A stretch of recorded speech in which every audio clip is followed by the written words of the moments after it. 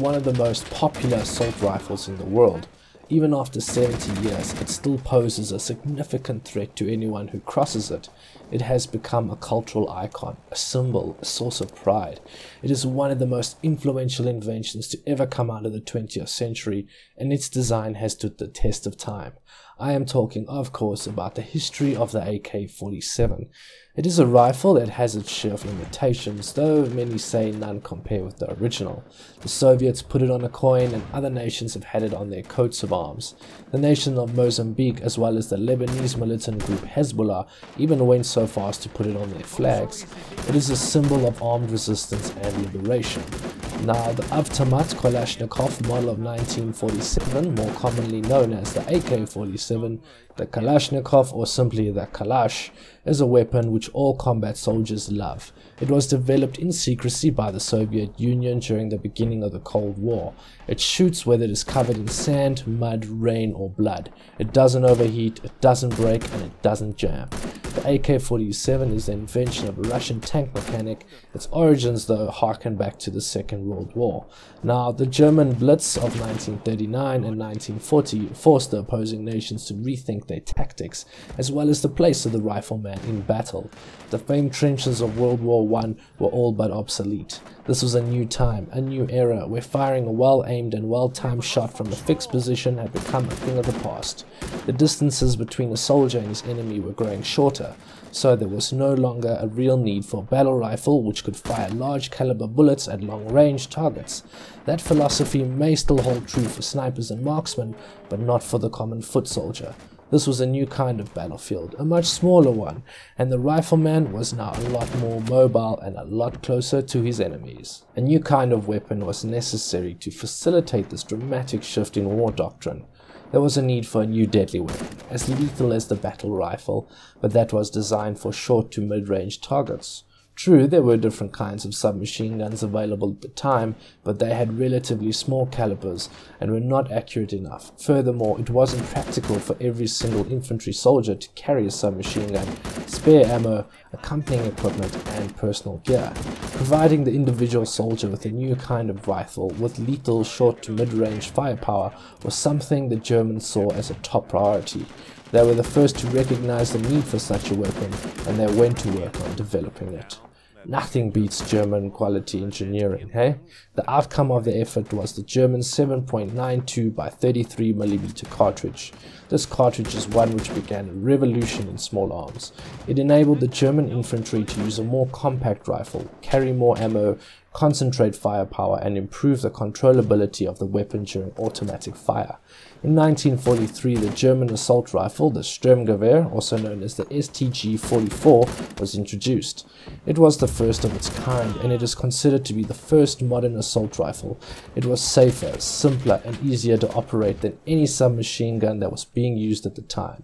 Two years later, the war was over. The STG-44 didn't get to experience wide distribution, but it was sent to the Eastern Front. The Soviets were very impressed and taken by the new weapon. One Soviet soldier in particular, a man by the name of Mikhail Kalashnikov, was especially interested in the STG-44. Mikhail Timofeyevich Kalashnikov joined the Soviet army in 1938. He began his service as part of the Armored Corps and threw himself into the machinery of tanks. As a boy, Kalashnikov loved taking things apart to see how they work. He was always fascinated by machinery and engineering, but living in a small village, Mikhail had no way of obtaining a formal or even informal education in it. The military provided him with the chance to indulge his passions and his technical side. Now, Kalashnikov designed an engine part which impressed high-ranking officers, so his superiors scheduled a meeting between the young soldier and the General Grigory Zhukov, who would later lead the Red Army to victory over Nazi Germany. Following the meeting, Kalashnikov was sent to the Technical Armory School in Kiev. While his schooling was going on, Kalashnikov managed to improve on his design and created two more models of the same instrument. Kalashnikov's studies were cut short, however, due to the outbreak of war. In June 1941, Germany launched Operation Barbarossa. the Nazis invaded the Soviet Union, catching the Russians somewhat unprepared. It was the largest military operation of World War II. Hitler had always regarded the 1939 non-aggression pact as a temporary state, a treaty signed for tactical purposes and nothing more. Once the treaty had served its purpose, and there was no longer a need to uphold it. Kalashnikov, who held the rank of senior sergeant, was given command of a tank and sent to the front. A few months later, in September of that same year, Kalashnikov was seriously wounded in combat. While he was recuperating at a hospital, he heard first-hand stories and tales of Russian infantrymen being overwhelmed and outgunned by Germany's immense firepower. Vladimir Grigorovich Fedorodov was a lieutenant general and weapons designer. Kalashnikov was very influenced by his work and he began researching the development of small arms. Now, Kalashnikov was always something of an autodidact and he learned the intricacies of gun design. In 1942, Kalashnikov was on convalescent leave in Kazakhstan. He entered a military-sponsored competition for a new machine pistol. He had help in the form of a local railway depot and its workers who provided some assistance. Three months later, Kalashnikov designed and produced a working prototype.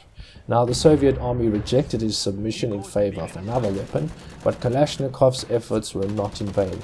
The military was impressed with Kalashnikov's abilities, and Mikhail was removed from the armored corps and transferred to the main Soviet small arms facility in the city of Ensk. While in Ensk, uh, Kalashnikov discovered that the Soviets had also shortened their cartridges, much like the Germans did some time before.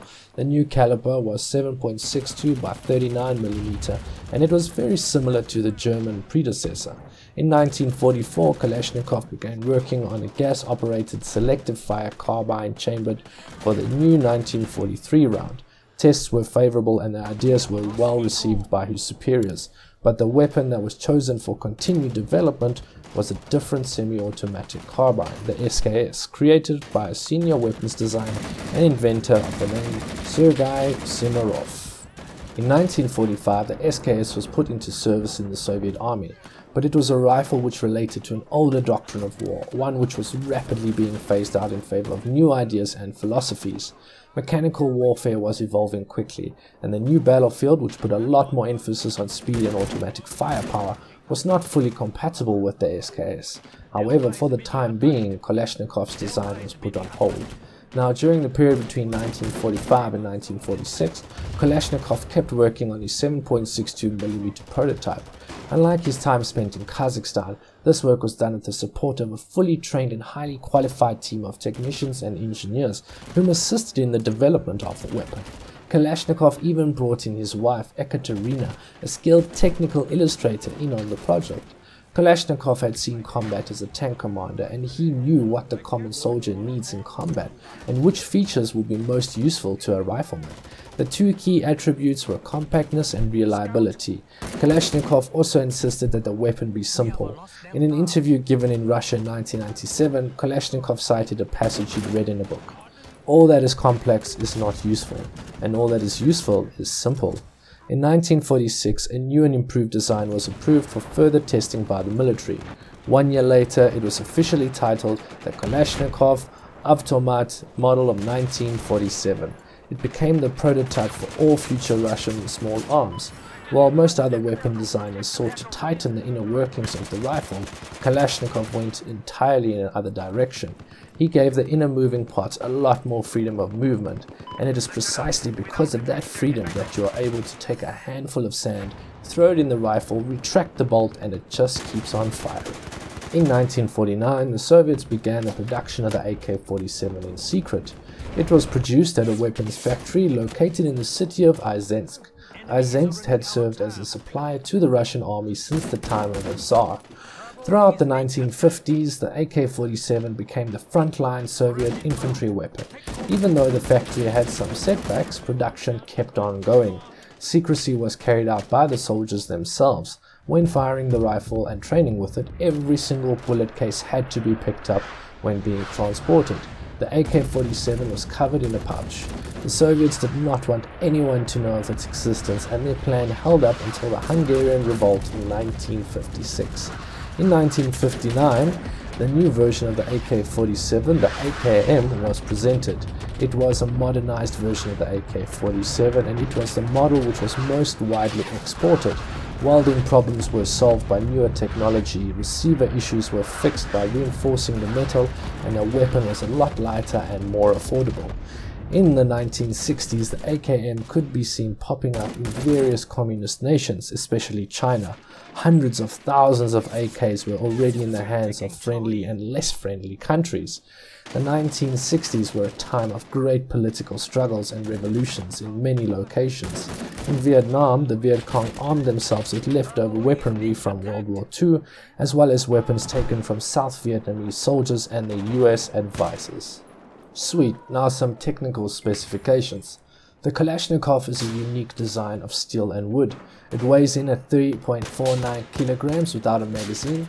Magazines are made of steel, plastic or alloy.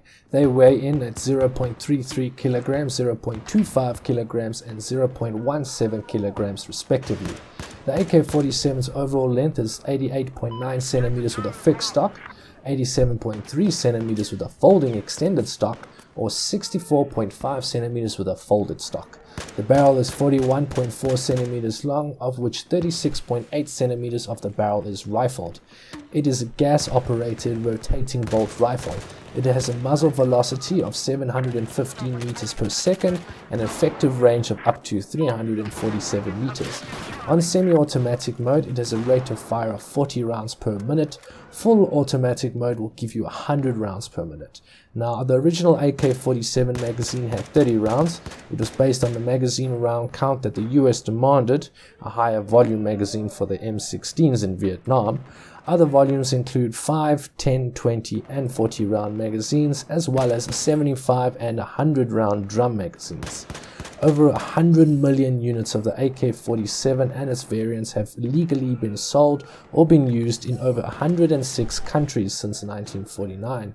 This got the AK-47 into the Guinness Book of World Records. Now, even with its popularity, Mikhail Kalashnikov was not a very rich man. He did not make much profit, even though his weapon was and still is in very high circulation. Mikhail Kalashnikov was a beloved figure, humble and down to earth. He was revered by his contemporaries, colleagues, and fellow Russians.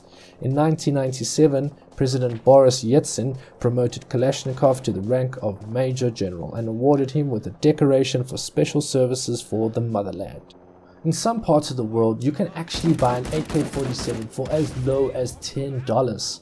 Because of its relatively low price, the AK-47 has become a favorite amongst gangsters and terrorists alike. It is a symbol of ethnic and tribal violence which is very prevalent in Africa. The Kalashnikov rifle and its variants are used to kill approximately 250,000 fucking people every year. They have caused more deaths than any military firearm, airstrike or rocket attack combined. The AK-47 has without a doubt changed the world of modern warfare. It changed the way we do battle. Today, its original design continues to serve as the basis for many different weapons. License for production and distribution has been given to over 30 countries, with many more countries using the AK and its variants. Kalashnikov never forgot his roots. He didn't consider the countless awards and honors he'd received to be anything special. Even at a later age, he continued to stay up to date with the different improvements and modifications which were being planned and executed. He always stated that he is a simple man, and he said he'd want to be remembered as one who had worked hard for the motherland. Kalashnikov died on the 23rd of December in 2013 at the age of 94 in a hospital in Izhevsk from a gastric hemorrhage. In January 2014, a letter that Kalashnikov wrote six months before his death to the leader of the Russian Orthodox Church, Patriarch Kirill, was published by the Russian daily newspaper Izvestia. In the letter, he stated that he was suffering spiritual pain about whether he was responsible for the deaths caused by the weapons he had created. Translated from the published letter, he states, My heartache unbearable, same insoluble question. If my rifle deprived people of life, and therefore I, Mikhail Kalashnikov, 93 years old and son of a peasant and Orthodox Christian according to his faith, am responsible for the death of people, let even an enemy. The patriarch wrote back, thanked Kalashnikov and said that he was an example of patriotism and a correct attitude towards the country. Kirill added to the responsibility for the deaths by the rifle, the church has a well-defined position when the weapon is used in defense of the motherland. The church supports its creators and the military which use it. He became one of the first people to be buried in the Federal Military Memorial Cemetery. Well guys, that's about it for today. I hope you enjoyed the video. If you did, drop us a like and maybe even subscribe. Until next time guys, take care of yourselves and have a chilled one.